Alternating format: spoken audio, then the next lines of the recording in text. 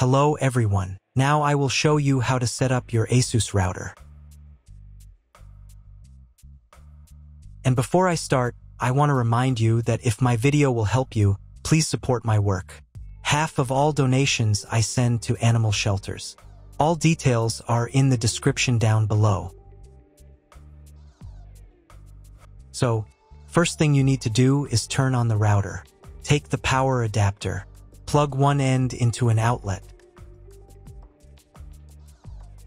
and the other into the router.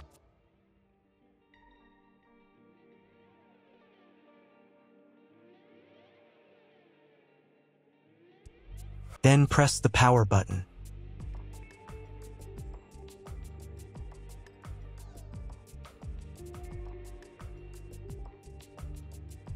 When the router is powered on, the light will turn on. It may take a few minutes for it to completely turn on. Next, connect the cable from your broadband provider or from your modem to a special internet port. This port usually has a different color and labeled as WAN. Each cable should be inserted until it clicks. Now you need to reset the router to the factory settings. Press and hold the reset button on the router for 10 seconds, until the indicator lights on the router begin to flash. Sometimes this button is located inside the router casing to avoid accidental pressing. In this case, use a thin object to press on it.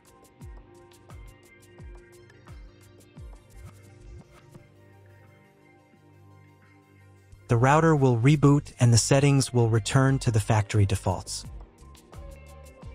Insert one end of the Ethernet cable that comes with the router into one of the Ethernet port.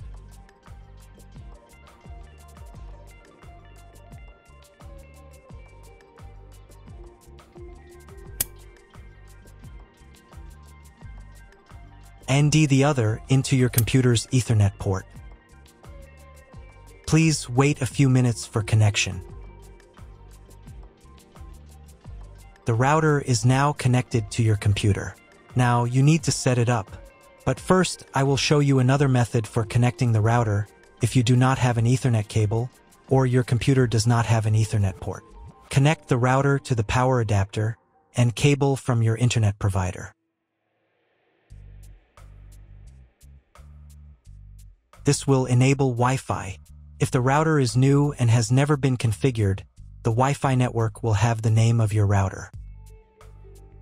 Your router has its own Wi-Fi network name and password printed on a sticker. Connect to it. Great, you've connected to the router. Now let's start setting it up.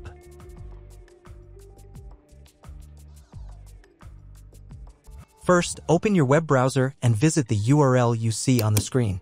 Use the URL bar instead of the search bar. At the beginning, you will see a form with a login and password. Usually, it is admin and admin.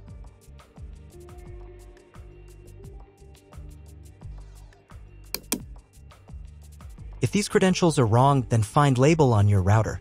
The credentials are often printed on the bottom of the device.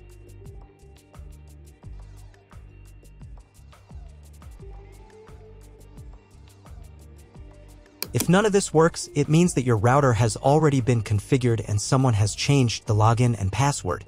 If you can't find out the login credentials, just reset the router to factory settings. And then log into the router's personal cabinet using the standard credentials. If your router settings do not look like mine, it means that your router has a different firmware. I made a video for every firmware type. You can find all the links in the description down below. I want to warn you right away that there are many firmware versions and they may differ slightly. But don't worry, you will succeed, just watch the video and follow the instructions. First, select the language for the router settings. I will leave the English language. To start the setup process, click this button.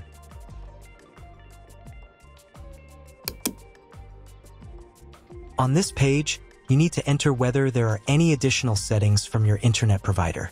You can find this information in the contract with your internet provider. If it is, select yes. and enter the required information. But usually, there's no need to specify anything additional. So if you don't know what to choose, select No. Next, come up with a name and password for your Wi-Fi network. If you want to choose separate names and passwords for each router band, then check this box here.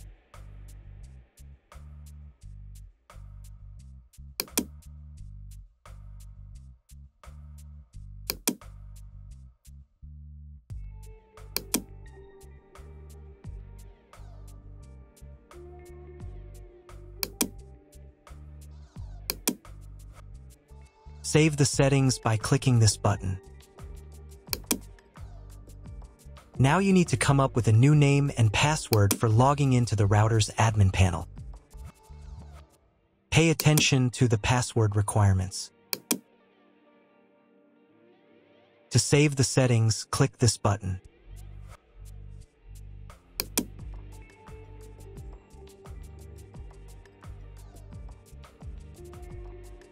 On the next page, you can update the firmware if a new version is available. To update, click this button. The update process takes about 3 minutes. Please do not turn off the router during this time. After the update, click this button. Now wait a couple of minutes for the router settings to save. If you were connected to the router via the Wi-Fi network, reconnect to it using the new name and password. Then log back into the router's admin panel.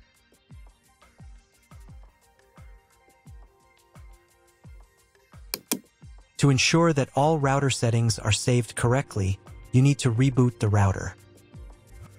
To do this, click this button.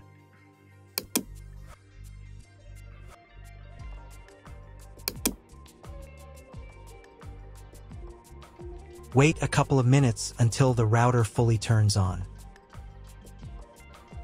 If you were connected to the router via the Wi-Fi network, reconnect to it. Now check if the internet is working. Just Google something.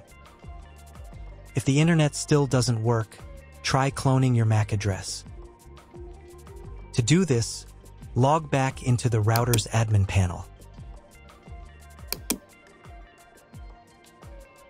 Then go to the WAN section.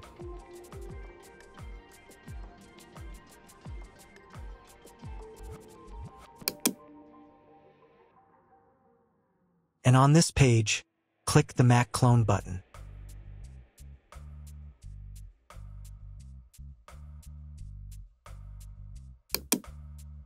Save the settings. And reboot the router again.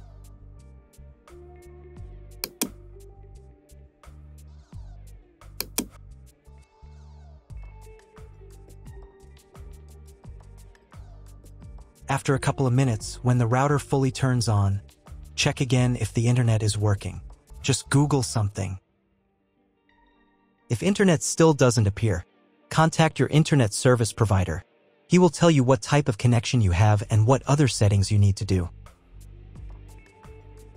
That's all. If my video was useful, please support my work. I send half of all donations to animal shelters. All the details are in the description below.